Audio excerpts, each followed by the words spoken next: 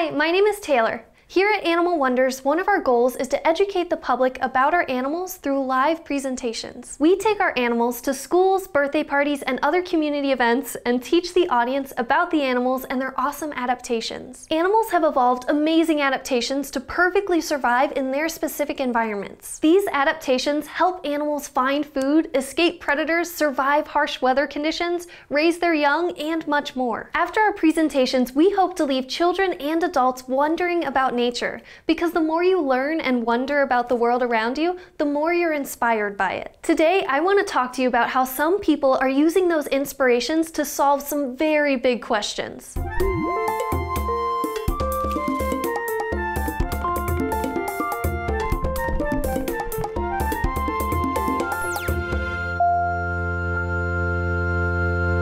Centuries, humans have encountered and overcome one challenge after another. We're smart, curious, and adaptive, and we've designed and built cities, machines, technology, medicine, clothes, furniture, and more. But none of that happened overnight. We've been learning and adapting and passing on that knowledge from one person to another. We have made our designs faster, stronger, more durable, and more flexible, but we continue to encounter challenges. And when we're searching for an answer, we forget to look around us for inspiration. Thankfully, some very curious and inspired people out in the world have remembered that we are not the first creatures to build on this planet. Thousands of organisms have survived and evolved around us on this earth, and they each have some amazing adaptations that we can learn from. Today, scientists and architects are trying to solve huge complex problems by imitating organisms and processes in nature.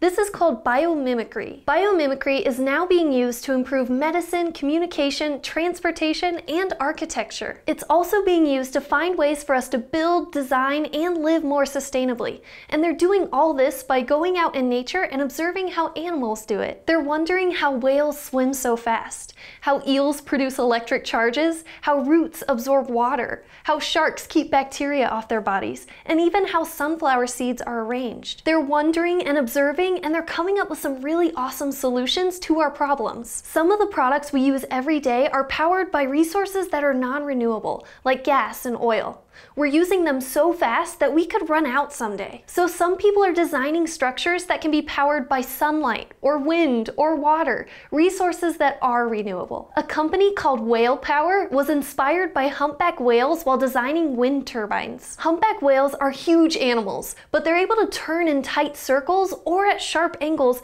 because of the ridges on their fins. These ridges allow them to move through the water better. So the company is now putting the same ridges onto wind turbines. The turbines are able to harness energy more efficiently, and they can even turn when there's less wind. One of the problems with those big wind turbines, though, is that they take up a lot of space. So a different company is designing vertical turbines, and they're able to arrange them very close together. This is because they're drawing inspiration from schools of fish. When big schools of fish swim, each fish creates a vortex behind them, and the next fish can use it to swim faster. When the vertical turbines turn, they also produce these vortexes. So by arranging the turbines just right, the wind is being funneled directly from one turbine to the next, and so on. This allows turbines to produce more energy and take up less space. It can cost a lot of money to heat your house in the winter and cool it in the summer.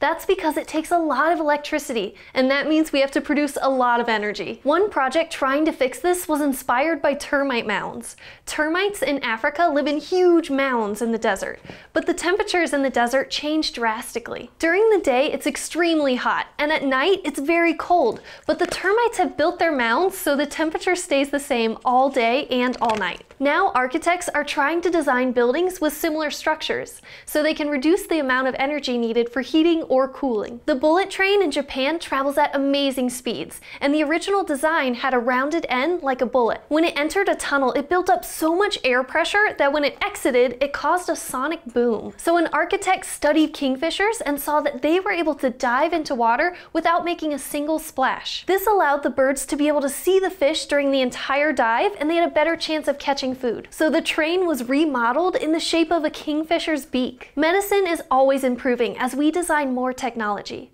But one constant is Many people don't like needles. They hate the jab and pain that comes with getting a shot. But scientists in Japan are designing needles with the same shape as a mosquito's mouth. Mosquitoes need to be able to suck blood and then get away before you notice them and squash them. The needles they're designing in Japan are intricately crafted and cause a lot less pain than current needles. Biomimicry is an amazing concept. By observing and studying nature, hopefully we can continue to improve our world and coexist more harmoniously with the world around us. Our Earth is an amazing place, and the more we learn about it, the more we'll care about it. So when you get done watching this video, I want you to go outside, even if it's just for a minute, and observe and wonder at everything around you. Who knows, maybe you'll notice something amazing and become inspired too. Thank you for joining me today. If you'd like more videos like this one, comment down below. And if you'd like to go on an adventure with us every week, subscribe to our YouTube channel, Animal Wonders Montana, and we'll see you next week.